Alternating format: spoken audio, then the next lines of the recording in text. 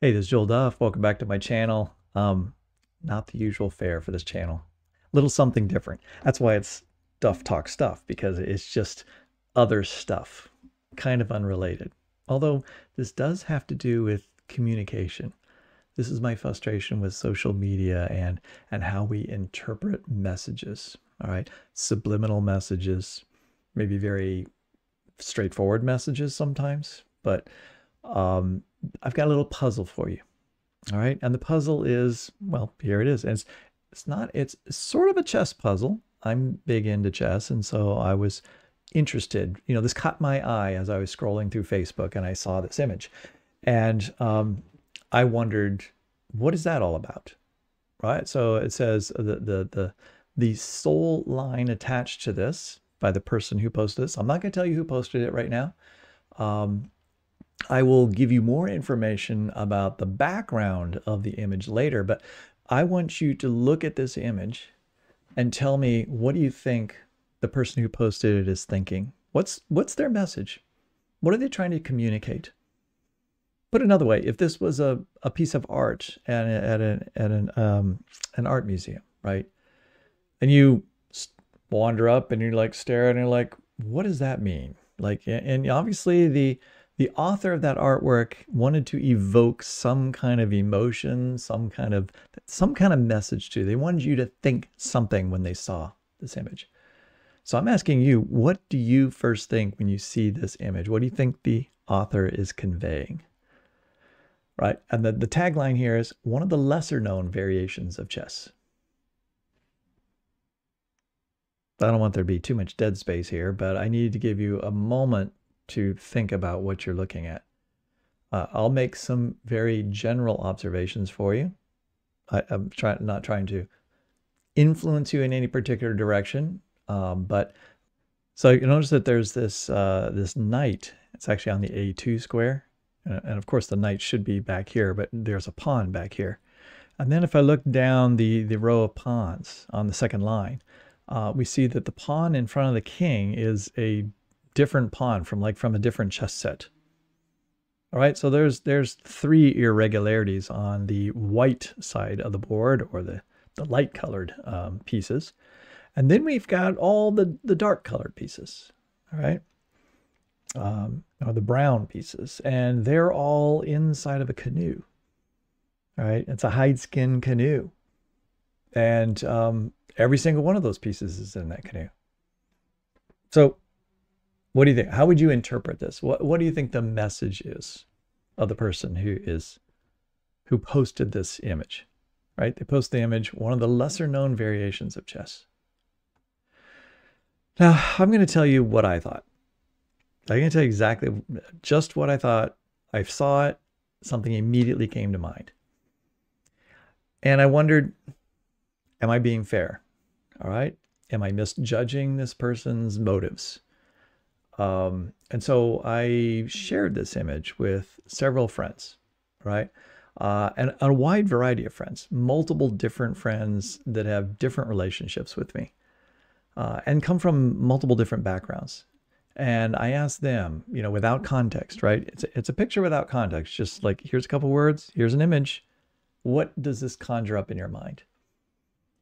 And most of them came up with the same thing that I did, right? They had the same thought that I did.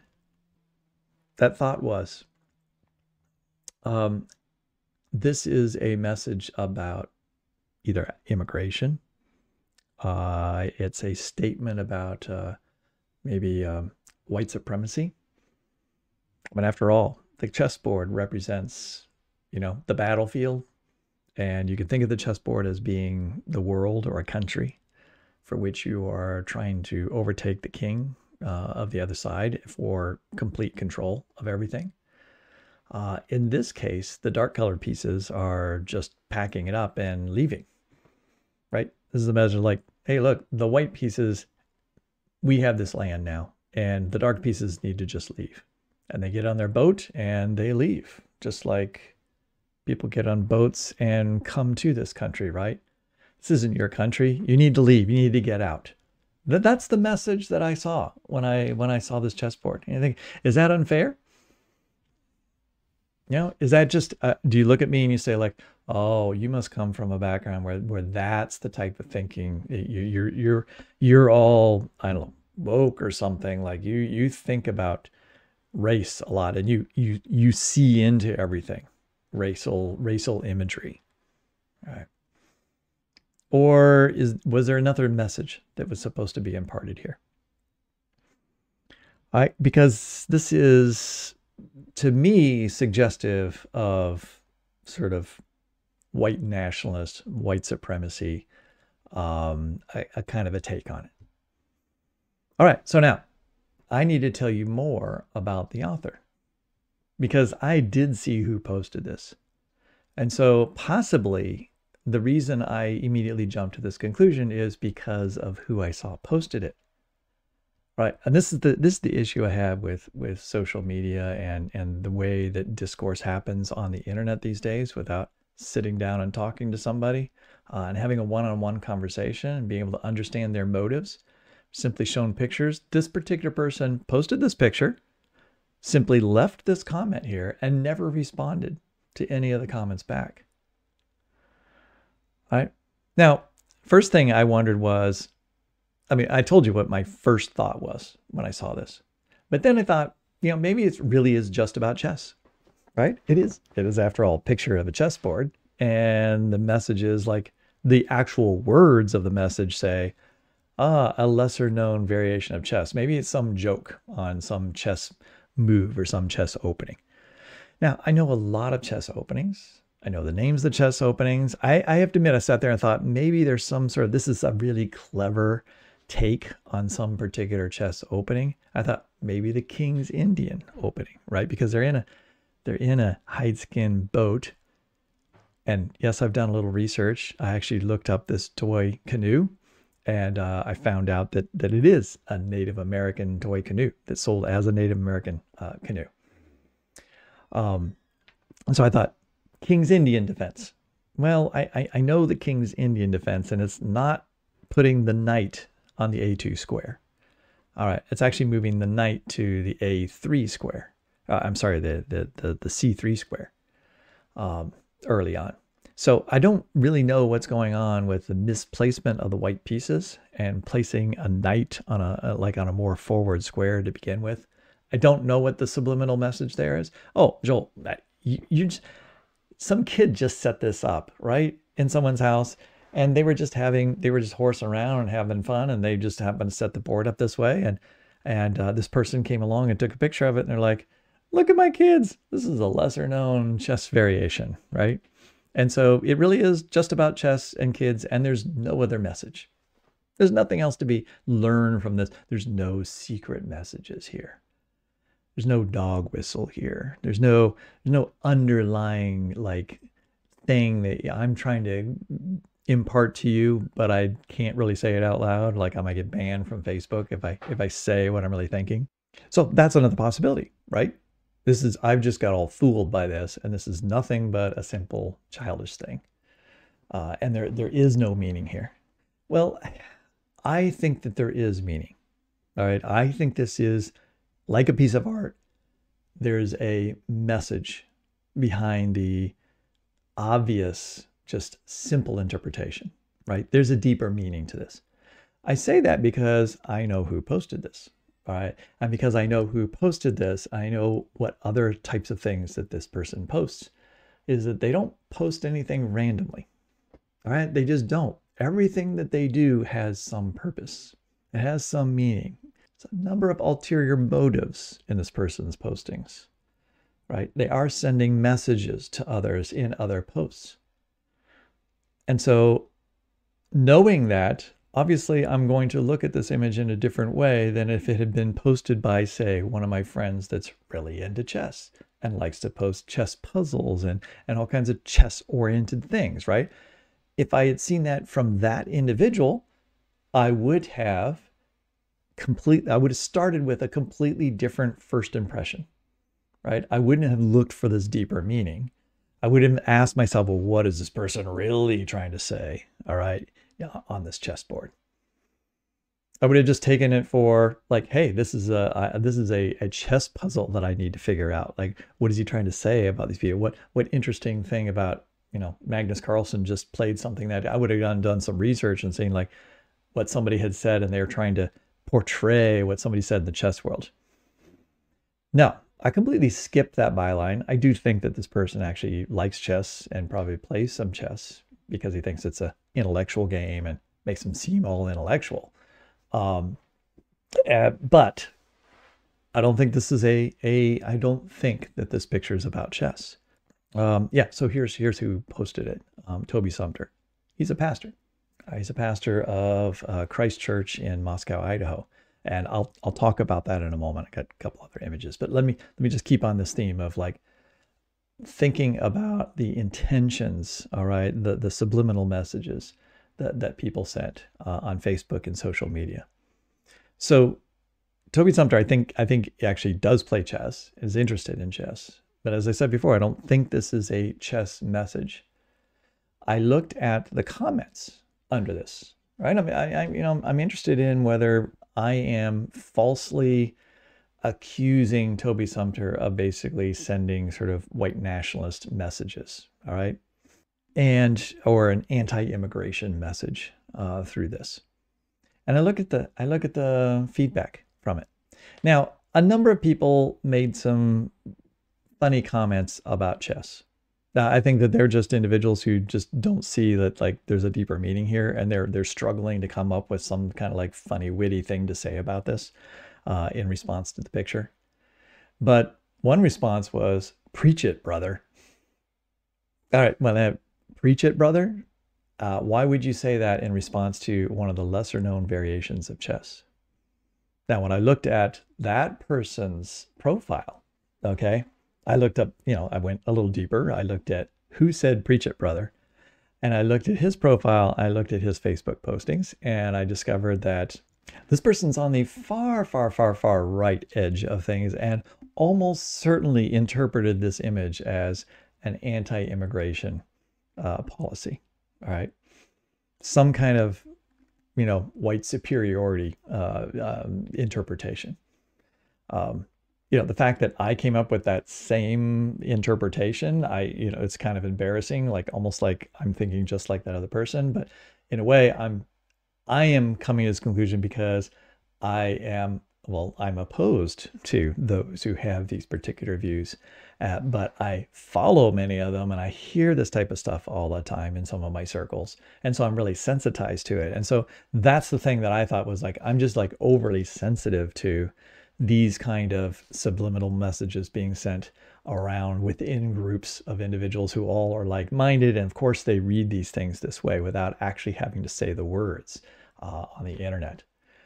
And so that's one of the reasons why I sent this to other other folks without any context. I didn't tell them who posted it. Right? I didn't tell them why they posted or where they posted it in some cases. I just said, "What do you think when you see this picture?" And then I showed them like what the you know what the uh, one of the lesser known variations of chess. And sure, you know, a couple people that I gave it to tried to think like, well, what are they talking about? Like, what chess move are they, they thinking? They, they purely took it on the face of it as like, this is just about chess. Great. I, I think that's wonderful that that person is, in a sense, naive, you know, uh, about it, that they're just taking it very simply. I kind of wish more people were like that. Um, but many, many, many of my friends, all right, uh, of, again, of different political persuasions, different backgrounds, different ages, essentially came to the same conclusion I did in terms of what the probable message of this particular image is.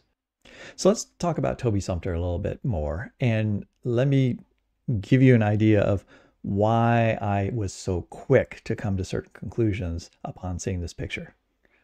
All right. Uh, so I mentioned He's a he's the pastor of Christ Church in Moscow, Idaho. Well, I've just talked about Moscow, Idaho not too long ago. I had this rather inflammatory, uh, provocative uh, title to one of my recent videos. Ken Ham host Moscow cult. And of course, the Moscow cult wasn't Moscow, Russia. It was Moscow, Idaho. And I was talking about Toby Sumpter and Douglas Wilson and a number of other individuals who run a very powerful organization in Moscow, Idaho area, and have a whole bunch of satellite churches around this country. Um, and I called them a cult. I mean, part of that was to be somewhat provocative, but I also think that uh, that they check off a lot of the boxes of if you to have like a list of cult-like features. But that's not what I'm here to talk about.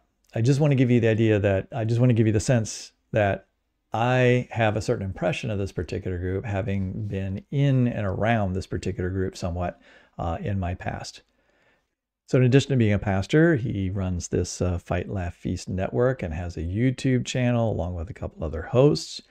Uh, and they are having a annual conference, uh, which is going to be held at the Ark Encounter. And so that's what my other video was about. Ken Ham is hosting, all right, or at least renting out his facility, uh, the Ark Encounter, for this uh, Fight, Laugh, Feast 2023 conference, uh, which is titled The Politics of Six Day Creation. Yes, they're going to sit around and talk about politics as it relates to their belief in the world only being 6,000 years old and how that affects their politics.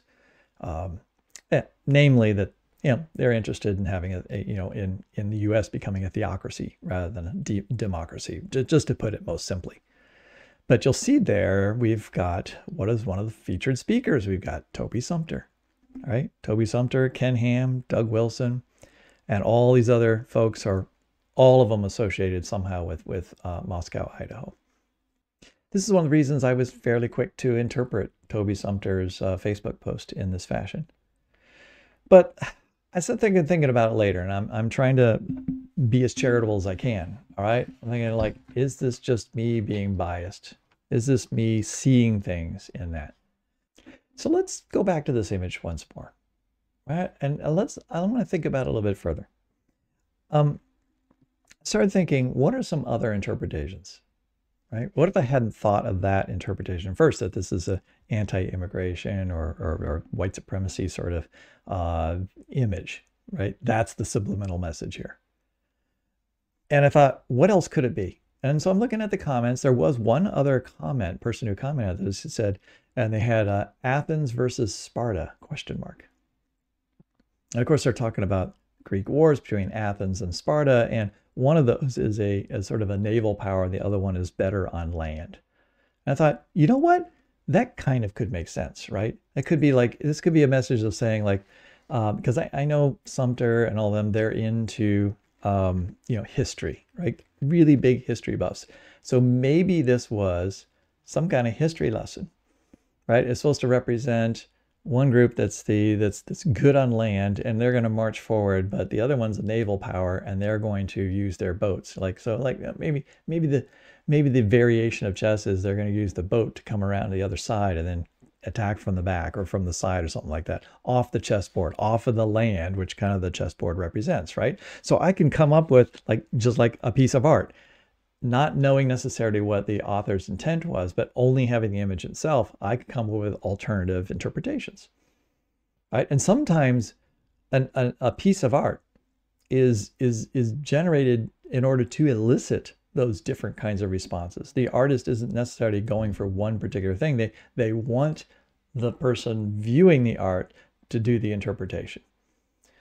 But many times right, the artist has a, a definitive goal in mind. This is what I want to elicit in that viewer. Um, and I would think that Toby Sumpter is is is wanting to elicit a particular message uh, in this particular case, but but the people that are responding are maybe seeing other things in it that he did never intended. Now, of course, Toby Sumpter never responded to any of these comments, right? And so that suggests he's leaving it open to interpretation. But in my mind, one of the interpretations I have of his lack of correction, like, oh, no, no, that's not what I meant. Here's what I meant, is the fact that he doesn't really want to say in words out loud what he really means. If my interpretation is right, he's not going to say, yes, your interpretation is right. I was tempted to actually leave my own comment and actually suggest this as an interpretation and then see if he would correct me. But the thing is, even if he corrected me, I wouldn't necessarily be convinced that he doesn't believe it, right? He simply might have to correct me so he doesn't allow that to be seen in public that this is a this is the interpretation I think he is he is is seeking for. Right? So he's kind of trapped in a box this way. There's very little he can do to kind of convince me that I'm wrong. Right? You might say, why don't I just ask him? But if this is his interpret, if this is his subliminal message, if I'm right about his subliminal message, then even if I were to ask him, even privately, probably, he's probably not going to admit that. He's just, it's easy to have plausible deniability, right? This is what we see on the internet all over the place now. This is, this is the whole idea behind the dog whistle, other messages that can be denied because they have another simpler, superficial meaning right? That they can simply point to and say, oh no, that's all I meant was just what the picture looks like. I didn't have any other hidden agenda or hidden meaning to it. And so this is what the internet has become in a way. And it's also sad that because we don't have face-to-face conversation, because we only know people through the internet, one of the problems might be that I might not, I don't know Toby Sumpter personally but I've watched enough of his public comments and I know enough of the people that he um, uh, hangs out with, right? His crew, that I feel like I have some sense of who he is. Uh, and that then leads me to have like an impression that then causes me to immediately jump to these types of conclusions. They may be incorrect conclusions, but they're very hard to correct in this particular environment. Because again, like I said, for him to correct me, he'd have to specifically tell me I'm wrong, right? And even then, I'm not sure that I would believe that he was a, because I personally think that he believes that lying is fine, all right? If you're lying for a purpose, like if you're lying to somebody who you think doesn't have honorable intentions, well, that's just deception. That's godly deception. So we get into all these crazy circles where it becomes very difficult to know the truth.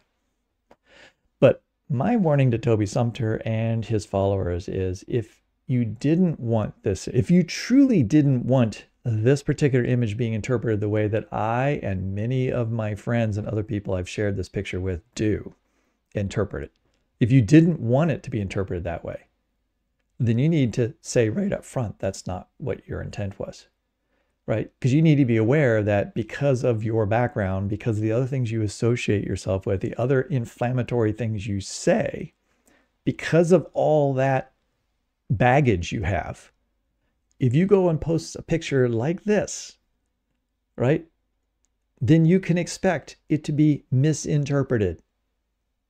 I think it's not misinterpreted, but you can expect it to be interpreted in this fashion, right? Because you've brought that upon yourselves right? You've brought that you don't you don't get the benefit of the doubt. Whereas somebody who is um, a friend of mine who has never posted something that I would have ever thought I could interpret in this fashion. And maybe I even know that they play chess and so forth, and they post this picture. I probably don't think of that first thing, right? I think through a bunch of other scenarios first before I'd ever allow myself to even go down that path of thinking that this was a racist picture, right? Had racist undertones to it.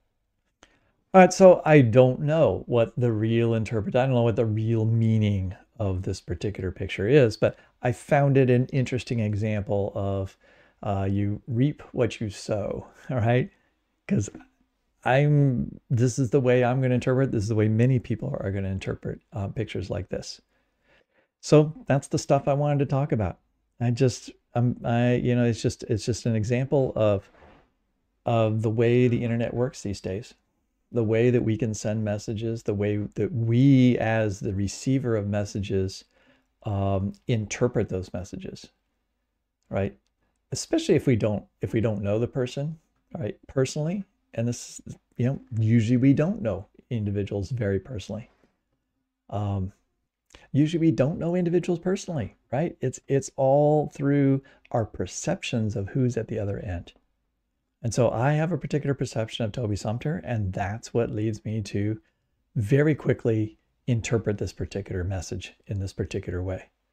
And I, I, I want to acknowledge again, I may be completely wrong uh, in my interpretation. Um, but it's very hard to shake that particular interpretation once you've seen it And once you've, uh, uh, and especially since it matches up with the identity I have in my mind of the particular person that posted it. And so I guess that's a kind of a warning to everybody out there in terms of what you're putting out there on the internet. Right. The types of things you say build up an image of yourself. And for many people, they're building images of who they are that may not necessarily reflect who they are in person. Although in these days, I, I, you know, some people would say that in reality, the person you are in person is often guarded and careful and so forth with with your with your close relationships. And then maybe the internet is where you actually expose who you really are, right? And so maybe it's the internet persona you have that's your real persona. But unfortunately, many people feel much more free on the internet to do things that they wouldn't do in person and don't share beliefs that they wouldn't share in person. And so don't be careful. You got to, we all have to be careful what we say and what we do. And I try, I try, all right. I definitely have a bit of a persona on the internet because there's a lot of things I don't talk about on this channel that are part of me and who I am. Um, and so they're part of kind of a private life behind the scenes. And so you're only getting a glimpse of me. And besides, you really only hear me talk about young earth creationism and maybe evolutionary biology and these things that are, and so that's definitely shaped the, that's definitely shaped the view that certain people have of me. Right? They, that there are certain people out there that have very strong feelings about, they think they know who I am. And I'm aware that that's a false view.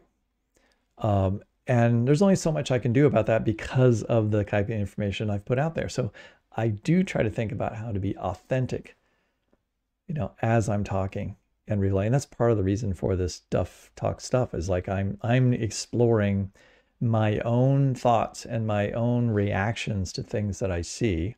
And I'm just telling you how I think about them and how I'm processing that. And so that that's the purpose of this video. All right, let's call it quits there we'll talk some more stuff at another time. Thanks for listening. Oh, and watching.